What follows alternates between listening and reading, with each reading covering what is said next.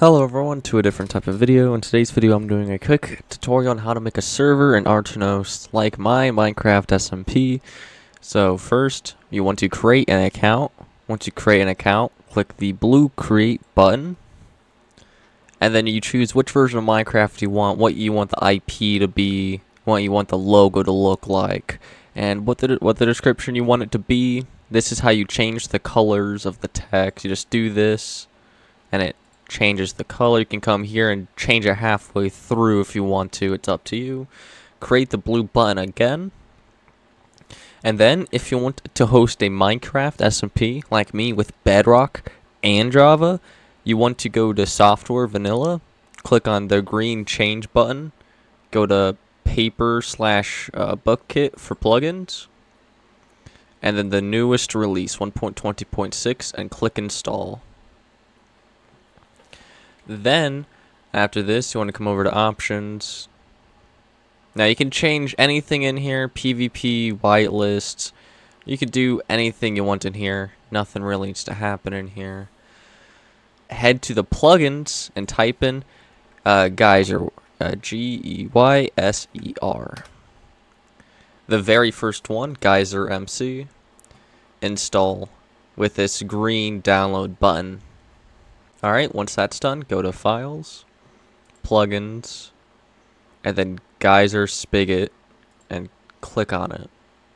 And then go to config.yml. And now you're in here.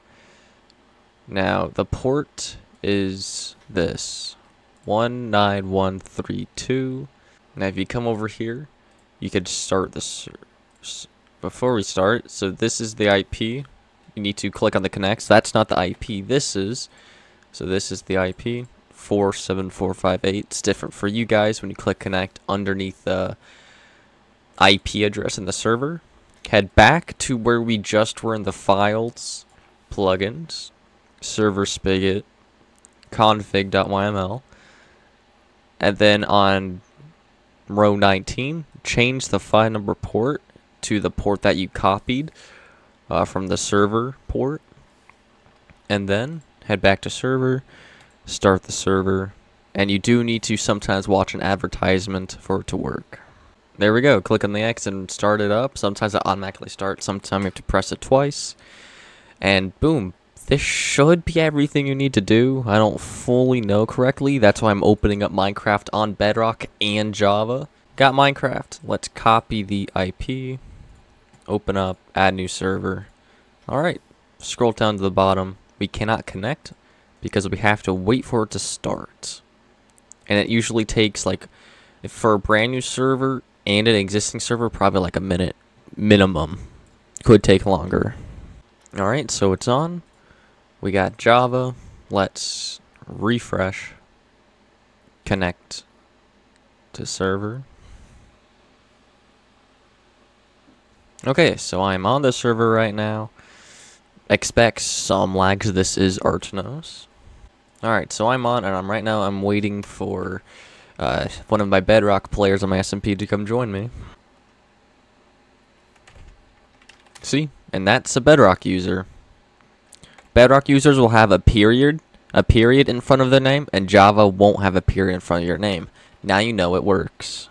And see they, we can see their skin. I don't know if they can see our skin, but yeah, that's how you get an SMP or server with Bedrock and Java. Alright, so that's how uh, you create a server in Aternos with Bedrock and Java players being able to play. Now, I can do more tutorials in Aternos because I've been using this for years, and I just found out some new stuff about Aternos. Like, if you go to the Players tab, underneath the logs, uh, I think you have to have whitelist on. Have whitelist to be true. Um, let me check. No, you don't. You don't need whitelist. But if you go to players, it shows you every single person who has played on the SMP.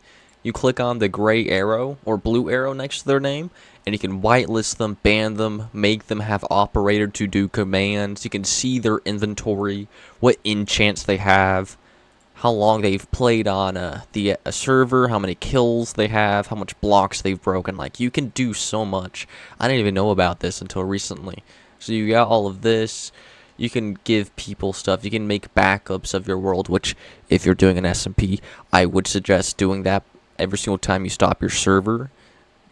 So if anything bad happens, you have a backup ready to restore. So yeah, that is how you start in Minecraft, Bedrock, and Java SMP. I'll see you guys all in the next tutorial. If you guys want another tutorial from me on Aternos, stay playable.